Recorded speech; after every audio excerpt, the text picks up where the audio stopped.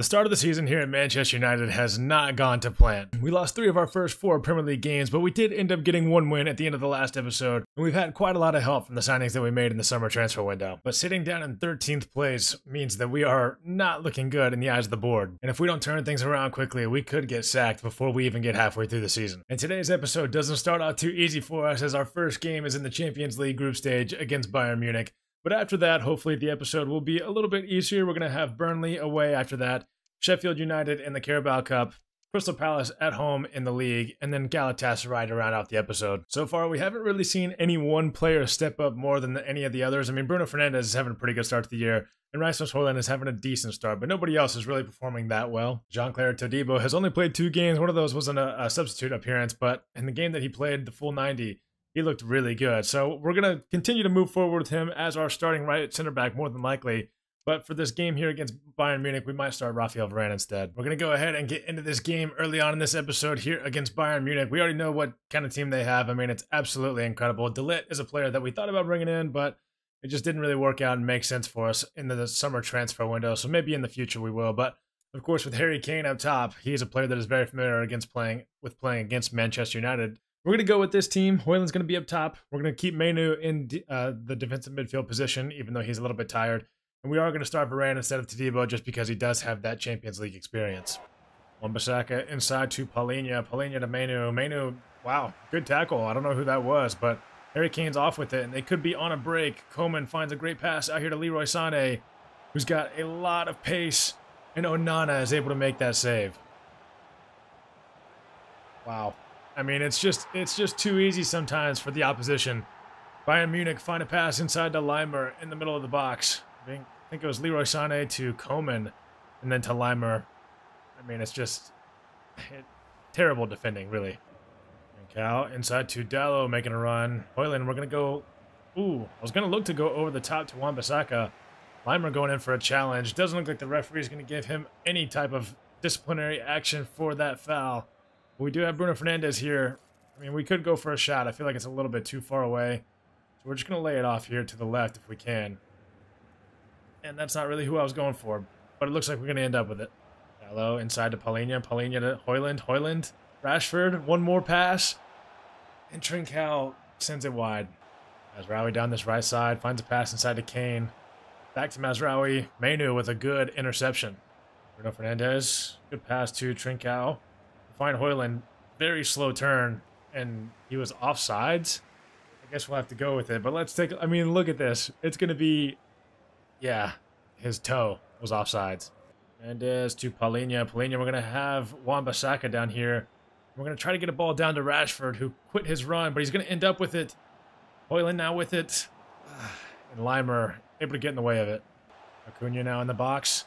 Varane gets on the backside of Acuna for some reason and did not want to go for the tackle. Luckily, that shot hit the side netting.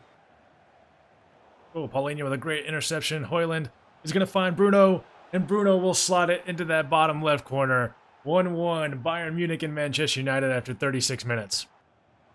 Musiala pushing forward, getting a shot away, and Onana is going to have to make that save.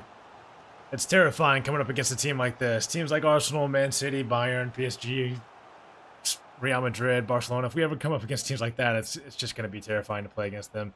We do well on the corner, but they still have possession. And Coman is now breaking down this wing. We're out of position with a lot of players but we do well to hold them at bay momentarily. Coman eventually finds Kimmich on the edge of the box. Musiala now with it. Finds a pass to Kane. Onana makes the save.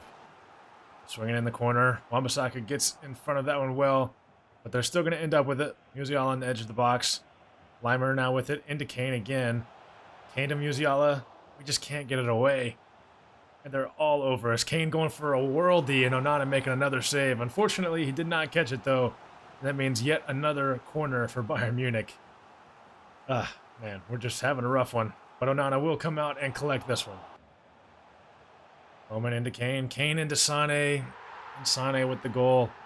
It just happens so quick sometimes here on Ultimate Difficulty that you just can't even, you can't blink. You can't lose focus for even half a second. And even if you don't, it doesn't really matter sometimes. Because like there, not much I can do about that one.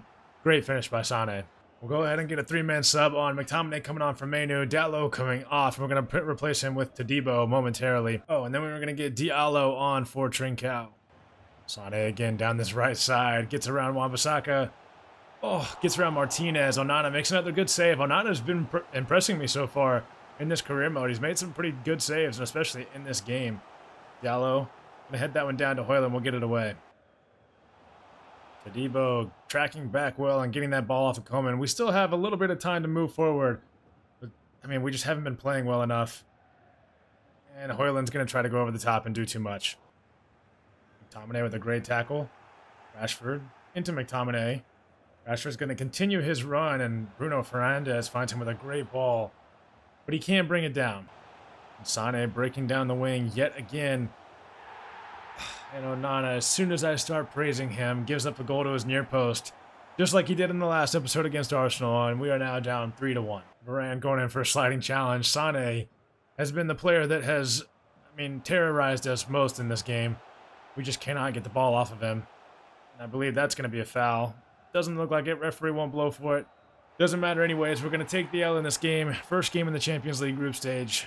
3-1 to Bayern. And like I said earlier, hopefully the rest of the episode will be a little bit easier. I mean, the, the two Premier League games, the Carabao Cup game should be maybe a little bit easier, and then the Champions League game is still going to be tough. Galatasaray are definitely still a very solid opponent, but hopefully we will get a win against them. We really need it to maintain our spot in the Champions League for now. This is an away game against Burnley, so it should be maybe a little bit tougher than we think it's going to. They're on four points, just like we are through five games in this season, so we really need a win here because if somehow they win, we are going to be in a very, very tough spot. We're going to go with this lineup. Rashford still starting on the left.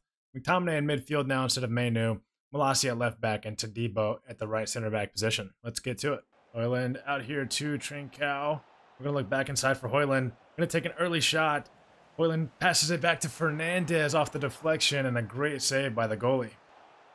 Oh, great pass inside. Fofana is going to go ahead and take a shot. Onana is going to make the save. I don't like what I'm seeing so far in this game. 10 minutes gone. But we are going to be able to get this corner away. Malacia pushing forward down this wing. Nobody actually stepping in front of him just yet. Going to find a pass to Bruno. Bruno with a good touch. Another good save by the keeper, though. We will look to swing this towards the back post. Todibo is able to get to that one, but not able to find his second goal for the club. Rashford to Højlund. Højlund with a good pass to Bruno. Bruno with a great pass to Rashford. Oh, we can't we can't score right now. Oh, Fofana with a good move around to Debo. Another good move, and I am tired of us giving up goals like that. 23 minutes gone. 1-0 lead for Burnley. Trincao pushing forward. Looks like we might have Bruno through here. What is the defense doing? Bruno trying to get it to the right side of the keeper, and we will. That's 1-1 here after 28 minutes. There's no reason we should be in this position, but we got to fight our way out of it now. What a ball inside. Koleosho now with it. Oh, boys. Boys, boys, boys. This team, this team is frustrating. Dalot pushing forward. Going to find Højlund. Højlund going to find Bruno. Bruno going to look back for Rashford, and Rashford will finish that off. That's a beautiful goal. 2-2. We're still in position to win this game, potentially, but it's going to be tough. Palacio with a great pass to Højlund early on in the second half. Great pass to Fernandes, and we will take the lead for the first time this episode. 3-2 over Burnley, of all teams, so a team that we definitely should be beating, but we're on the way. Good pass down here to Gudmundsson. We've got to defend the baseline or the touch line because that is where Onana has been weakest. We've also got to defend just the box in general. They get a shot away. Onana with a good save. And another corner being swung in. Todibo up time up for this one this time. But clears it only as far as Redmond. They're going to find another pass inside. And Dalot's going to be able to do well. Dalot inside to Trincao. Over here to Rashford. Rashford with some room to shoot. Is deflected away. We're going to find Bruno. McTominay from the edge of the box. I don't mind it. Oh, I thought we scored. Oh, yeah, they definitely are. I'm Amdouni now. Makes a move to get around Branthwaite. boys. boys, boys, boys. This is this is tough. There are a few minutes of added time. Bruno knocks that one down to Sancho. We're going to get it back to Bruno. And look over the top again for Sancho. So we do have time to move forward. There's just no one up here with us. Garnacho inside to McTominay. McTominay with the shot. He's done that a few times in real life this season, but unfortunately not able to do it there. We will have one more opportunity from this corner. McTominay. McTominay is there. That is why I decided to keep him in this team. And he will give us the 4-3 win over, you know, a pretty terrible Burnley side. But nonetheless, we will get the win. So that means that we've already seen Bruno Fernandes step up. We've seen McTominay step up in that game. Some other players are doing okay. Garnacho uh, hasn't gotten a lot of opportunity, but Højlund has gotten some pretty decent opportunities and is showing out. So we're going to keep moving him up in the striker position and uh, continue starting him in that striker position. But we're looking to see if anybody else will step up to the plate and help this team when, when we need them to most, because we definitely need them to. That will lead us into our next game against Sheffield United, but it is a Carabao Cup game, so we will try to get some rotation in the squad. For this game against Sheffield, this will be their lineup, but I think we're going to go with a very heavily rotated lineup in ours. We're going to keep starting Højlund up top. We don't actually have a true backup striker besides Marcus Rashford, so that's kind of a predicament that we're in right now. So we're going to have to address that in the January transfer window, but as you can see here, a lot of players that are rotated, so let's go ahead and get into this one. We probably won't show too many highlights from this game, but we'll show some. Højlund out here to Wan-Bissaka. Wan-Bissaka lifting it up. Mason Mount sending it way over. All right, so we're here at the end of the first half, not much happening. I mean, we've had five chances. They've had zero, but we are not, we're not even close to scoring at this point. Mainoo down to Højlund. Højlund, not a great turn, really, but a good shot on goal. Ooh, Mount with a good turn, though. And he'll find Højlund, and another good save. Ooh, Mason Mount. Good ball over the top to Diallo.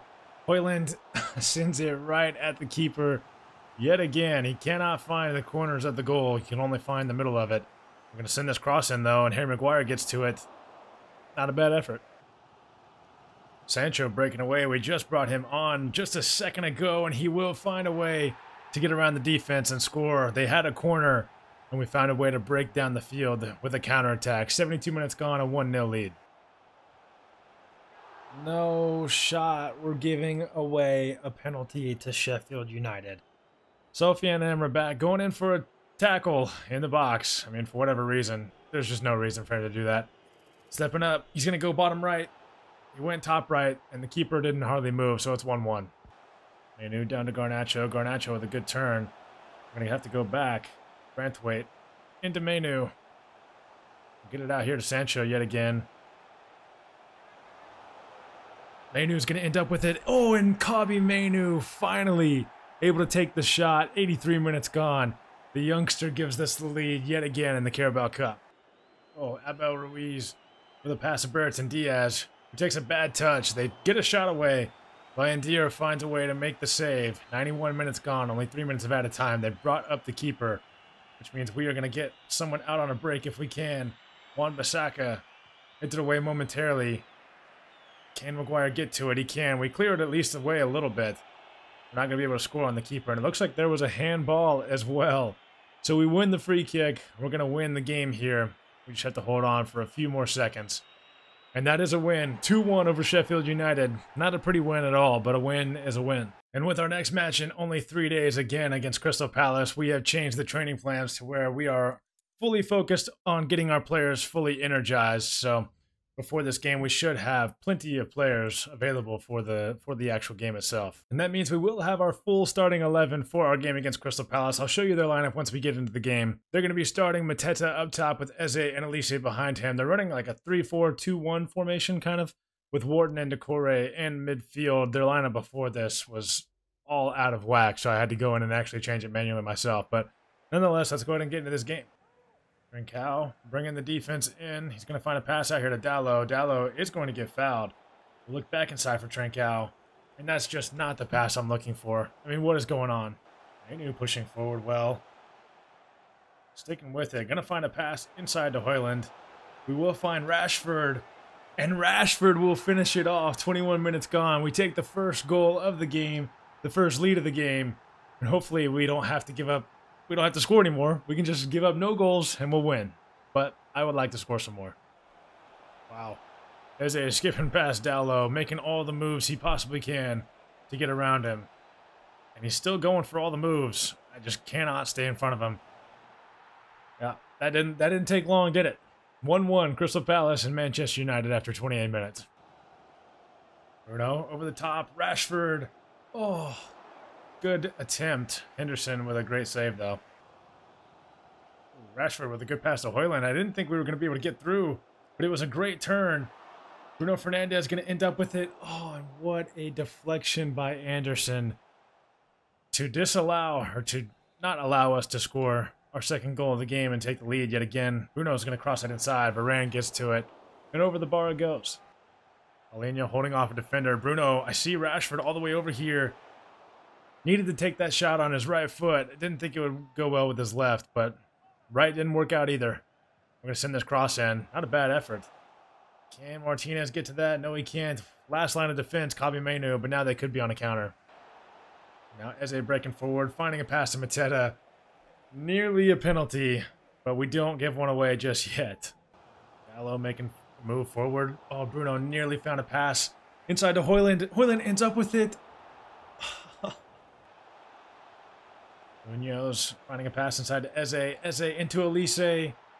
Yeah, I mean, it's inevitable. There's just nothing we can do. The defenders are asleep there. And, uh, yeah, Martinez not able to get a tackle in. Varane just kind of standing there, not guarding anybody. It's 2-1 Crystal Palace after 72 minutes. And so we'll go ahead and get some subs on Malacia, Højlund, and Mainoo coming off for Wan-Bissaka, Garnacho, and McTominay. Hopefully they'll make a difference. We've seen them make a difference before. Uh, they already have a corner here. They're swinging it in. And Onana is having to make a save on it. So they're going to have another one. Looks like they will be swinging this one in as well. Wan-Bissaka in front of it. Onana is actually going to be able to collect. And now they have a free kick right on the edge of the D. Eze and Olise is stepping up to take it. You have got to be kidding me. We cannot catch a break. Early on in this Premier League season, things are just not going our way. Eberechi Eze with a free kick of dreams. I mean, we know how good he can be on those free kicks, and I mean, this is as good as it gets. Wan-Bissaka couldn't even jump high enough to clear it away, and you can't even really tell from, I mean, what, what kind of replay is that? You Can't even really tell from that angle, but it's a worldie, and we're going to lose. Can they make it four? No, they can't. Not yet, at least. They will have a corner here. 93 minutes are gone now, three minutes of added time. So the game is basically over uh, at this point, but they could still find a fourth, I guess. We're going to try to prevent that from happening, of course. Trincao does well to get in a tackle. We'll clear it away.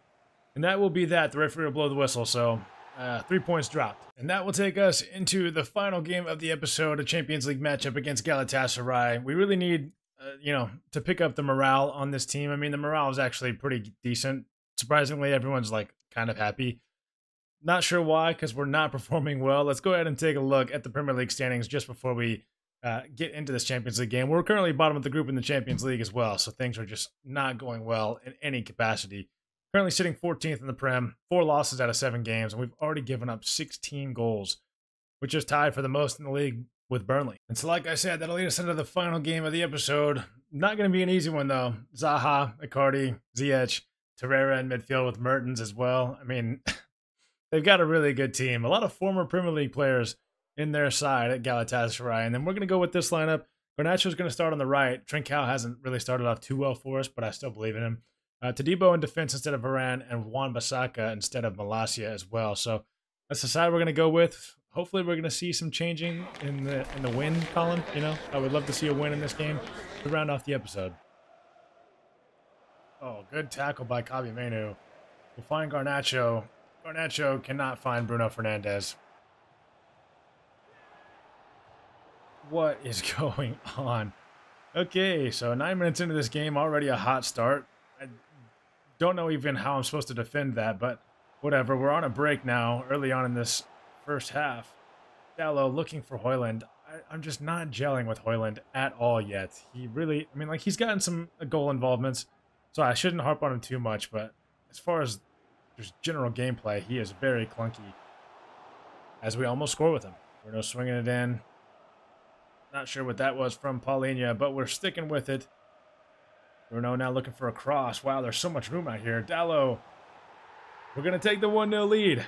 Bruno Fernandes finds the cross over to Diogo Dalot, and it's now 1-0 after 15 minutes. Zaha with it, finding a pass inside to Icardi, and then the back heel. It's always the back heel that'll get you. Zaha, luckily for us, does not convert, and Onana makes the save. They're going to swing that one in. Didn't love that from Onana, but he'll come and collect eventually. Rashford, or yeah, Bruno inside to Rashford.